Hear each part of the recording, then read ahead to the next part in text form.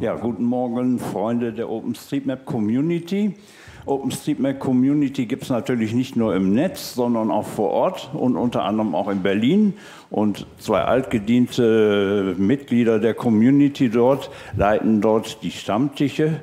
Ich glaube, Christopher ist der zweitälteste deutsche Mapper, nicht der zweitälteste von Jahren her, sondern der zweitdienstälteste Mapper äh, bei OpenStreetMap überhaupt. Und auch Lars ist schon weit über zehn Jahre dabei.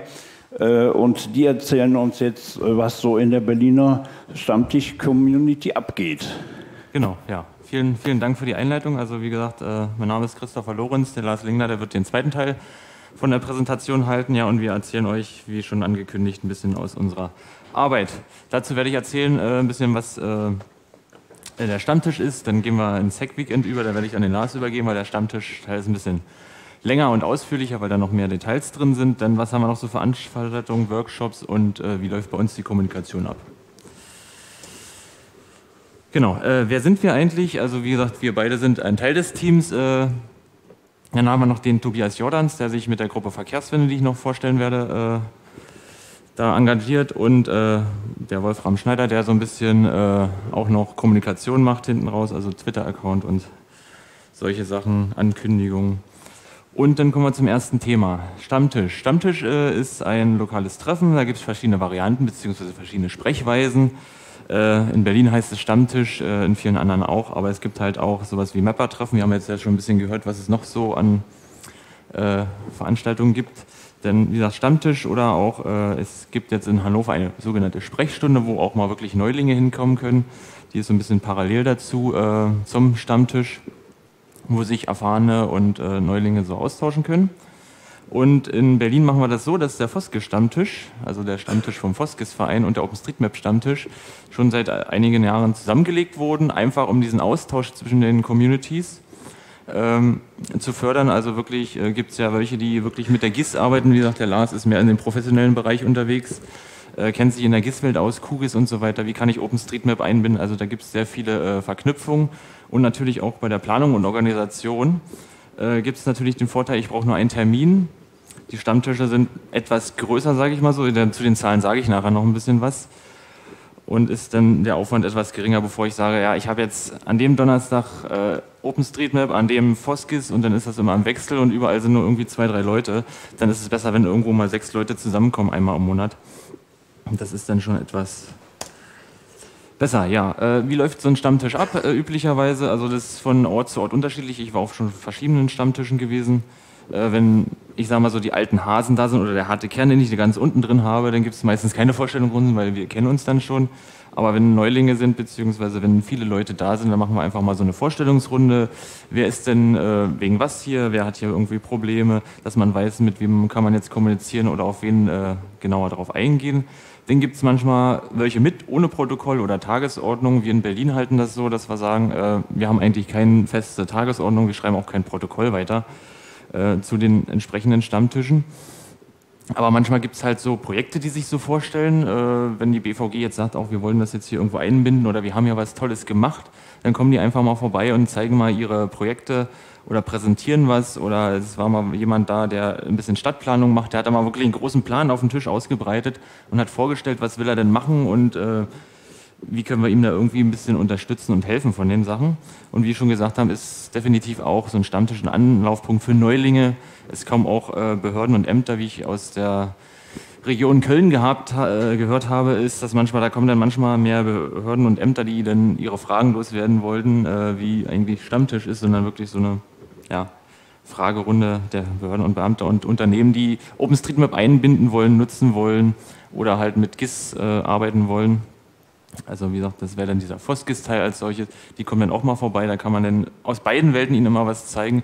Wie gesagt, das sind halt die Synergieeffekte als solches. Wie gesagt, ich hatte schon zu den Zahlen was gesagt. Ich habe, wir haben den Stammtisch in Berlin seit 2008 und äh, wir haben jetzt bis auf den ersten Termin alle Anmeldungen als solches, wie gesagt, äh, es kann jeder kommen, man muss sich nicht anmelden, äh, im Wiki gemacht. Und hier sieht man so ein bisschen die Zahlen, also das Blaue sind die Wiki-Zahlen. Und seit dem Jahr 2015 zähle ich jetzt immer äh, die aktuellen Besucherzahlen. von unserem Stammtisch. Wir hatten gestern einen Stammtisch, da waren es nur zwei Leute, also die Statistik für 2020 geht jetzt etwas nach unten. Ähm, und wie gesagt, hier sieht man schon, äh, wir kommen so, ja, im Schnitt so auf ja, zwischen acht und zehn Leuten. In, in Berlin für eine Großstadt ist das wieder recht wenig.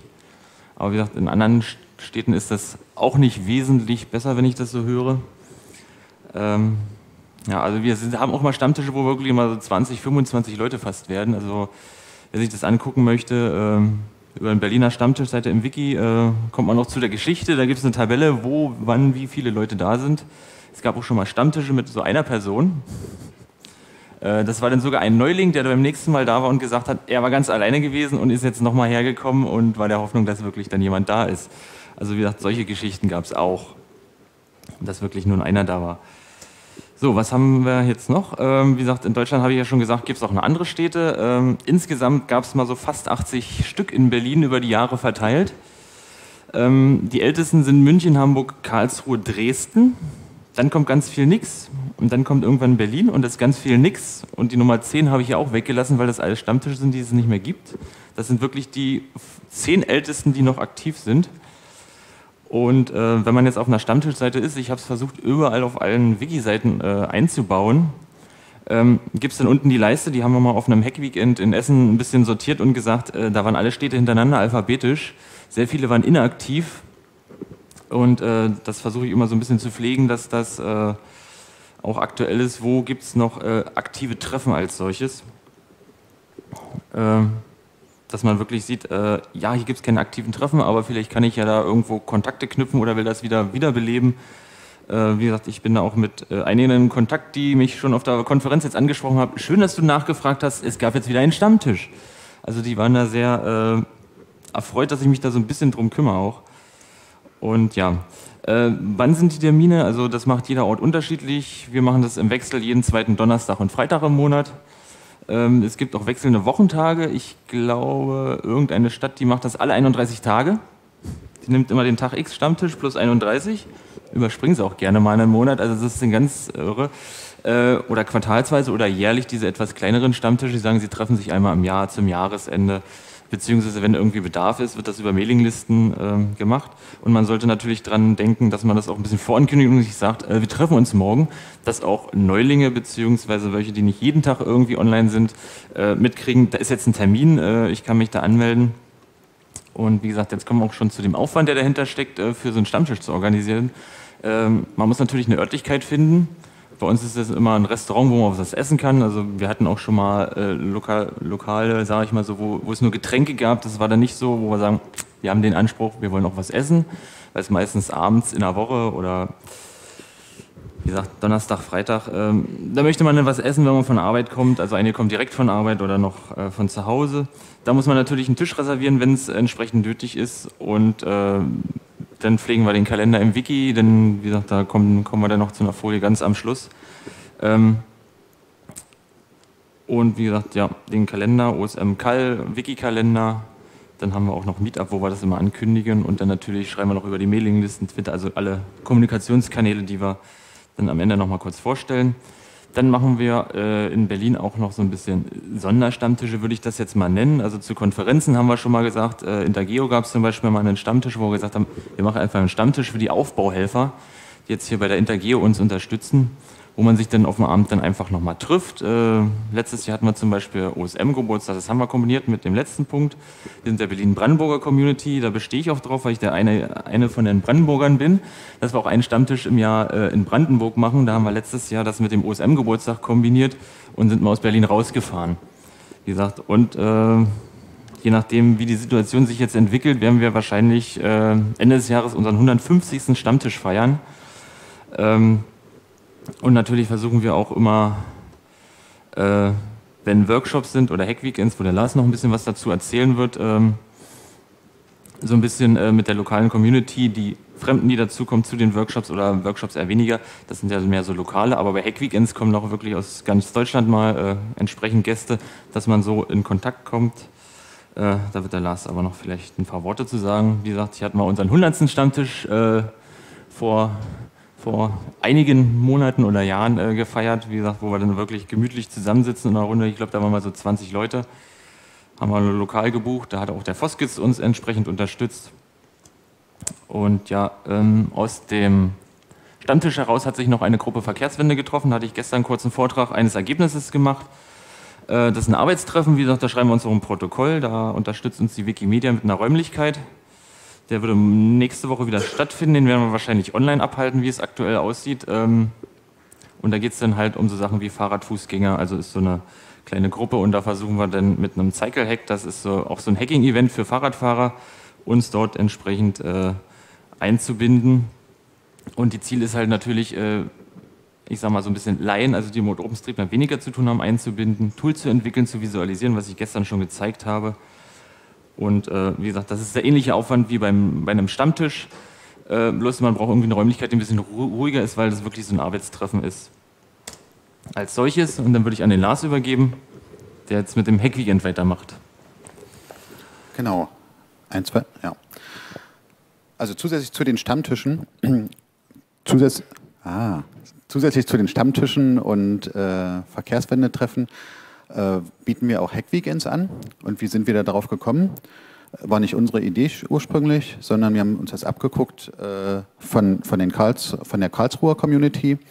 Die haben damit angefangen, ein äh, Hack-Weekend zu machen, was halt zwei Tage äh, sind, Samstag, Sonntag, wo man sich ja, einschließt und äh, vor einen Rechner setzt und ja, mappt oder äh, Soft Software schreibt oder auch diskutiert. Und äh, das fanden wir so toll, dass wir das auch äh, gerne in Berlin an, anbieten wollten. Und das machen wir jetzt seit ein paar Jahren schon. Zwischendurch gab es mal eine Pause. Und wie, äh, was kann man sich da noch so drunter vorstellen? Ähm, jedes Hackweekend, äh, auf dem ich war, läuft eigentlich unterschiedlich ab. Und in Berlin haben wir uns gesagt, wir machen keine inhaltlichen Vorgaben, also es gibt kein großes Oberthema, an dem man arbeitet, sondern die Leute, die da hinkommen, die bringen ihre Probleme, ihre Projekte und Anliegen halt mit und diskutieren das oder arbeiten dann halt vor, äh, an, an dem konkreten Thema.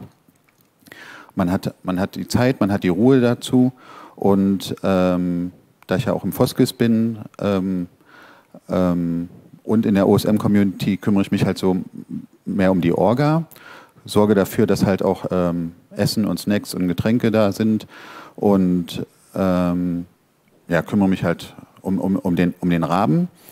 Ich selber, wenn ich da bin, schaffe meistens nicht viel äh, an äh, irgendwas zu arbeiten, weil es halt auch so toll ist, äh, sich mit den Leuten zu unterhalten und äh, Hilfestellung zu geben. Dort kommen auch neu, äh, neue Leute hin, die mit OSM vielleicht noch gar keinen Kontakt hatten und äh, wollen sich einarbeiten. Und dann gibt man halt ähm, mal Tipps, wie man sich bei OSM anmeldet oder was für Editoren es gibt oder was für Programmierbibliotheken. Und äh, genau. Ähm, wir sind auch nicht die, also mit Karlsruhe hat es angefangen. Ähm, ich weiß gar nicht, ob es in Karlsruhe das allererste war, aber wahrscheinlich. Inzwischen gibt es aber auch andere Hack-Weekends.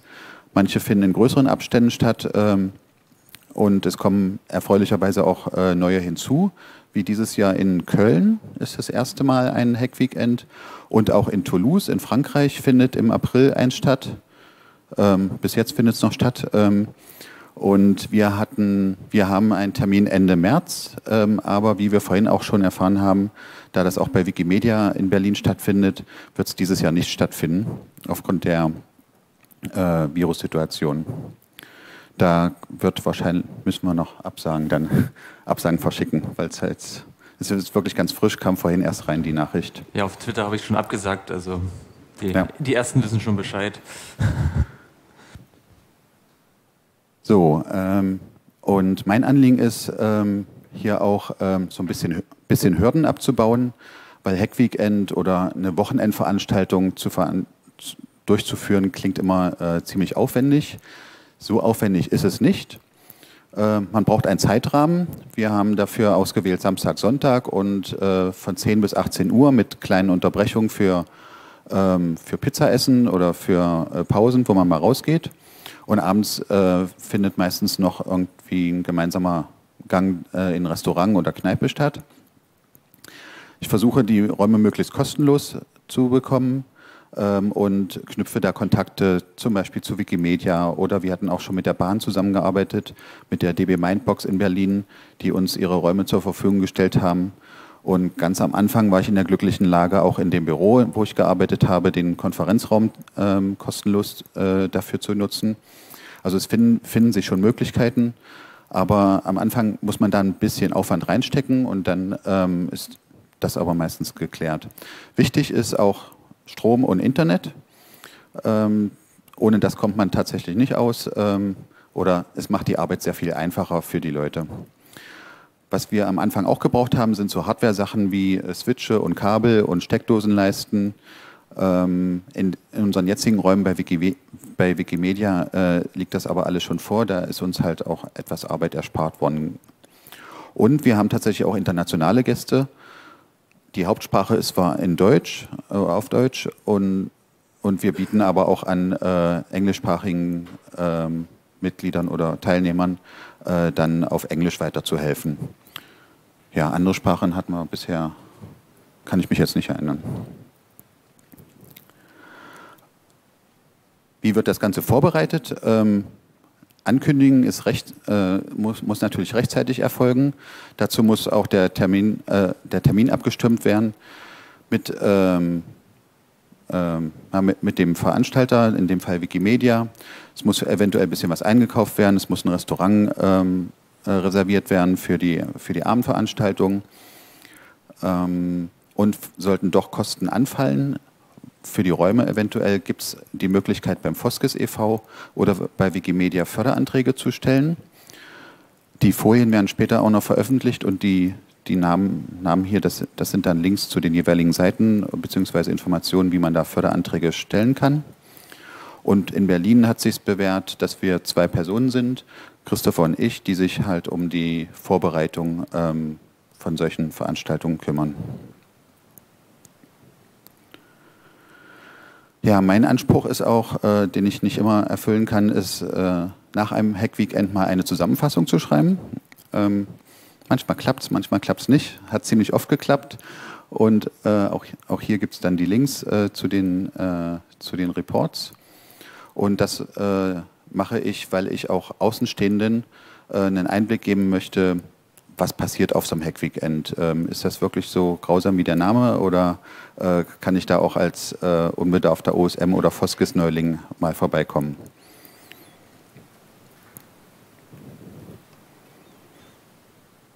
Ja, dann äh, gab es über die Jahre verteilt noch andere äh, Veranstaltungen, die die Berliner Community durchgeführt hat. Ähm, Six Feet Under, das war vor über zehn Jahren, zwölf Jahre jetzt, ähm, da wurden prominente äh, Friedhofs- oder, oder, Gräber auf Friedhöfen äh, gemappt. Operation Cowboy, weiß ich jetzt, kann ich jetzt gerade nicht mehr zuordnen. Äh, Operation Cowboy war äh, mehr oder weniger, es gab einen Import in den USA und da ah. war so ein bisschen Couchmapping gewesen. Das war ja so eine Aktion ja. gewesen, ja. Und äh, ja, Missing Maps ist halt fortlaufend. Man kann da äh, jederzeit teilnehmen. In Berlin wird das auch viel vom, vom Roten, Kreuz, Roten Kreuz veranstaltet. Und wie Christopher vorhin schon äh, äh, in Nebensätzen erwähnt hat, auch zur Intergeo, also Messen, die in Berlin stattfinden oder lange nach der Wissenschaften, ähm, Data Cycle Meetup, Cycle Hack, Linux Tag, den es jetzt auch nicht mehr gibt. Ähm, da haben wir dann auch immer Pre-Events oder während der Veranstaltung Events gemacht mit OSM und Foskis. Workshops. So? Ja, ich kann noch was sagen. Also wie gesagt, Workshops hatten wir bisher immer OSM und Resume Editor, also so Einführungsworkshops gehabt. Und äh, wir planen dieses Jahr für die Fahrradinfrastruktur, also von der Verkehrswendegruppe, so ein bisschen einen Workshop für Neulinge, die was erfassen wollen. Und äh, wir sind dabei mit Jugendlichen in Fürstenberg-Havel, das ist im Norden von Brandenburg, also kurz vor der mecklenburgischen Grenze im Verstehbahnhof. Das ist so ein, so ein, so ein Hackerspace, Jugendhackt. Da wollen wir mit Jugendlichen so einen kleinen, kleinen Workshop machen.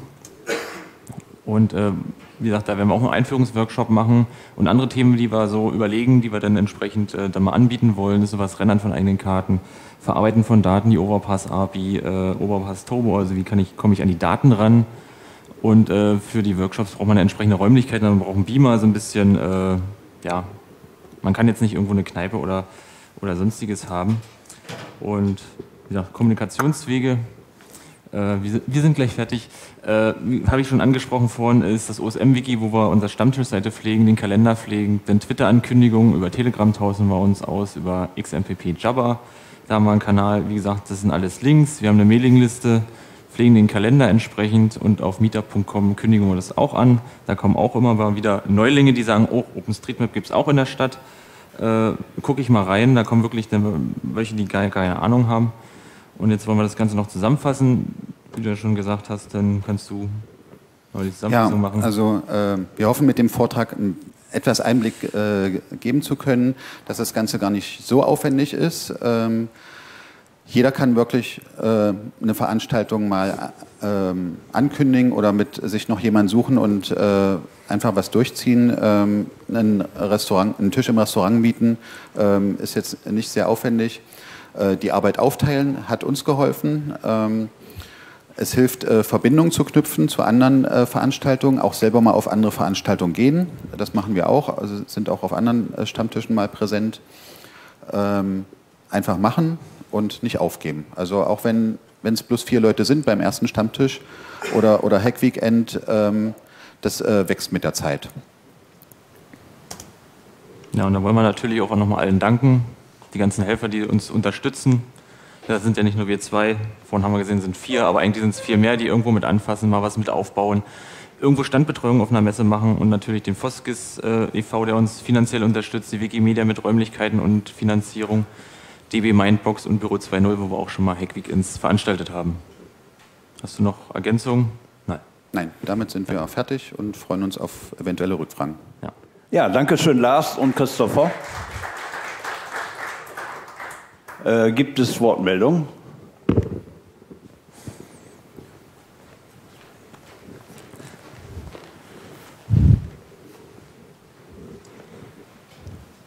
Dankeschön.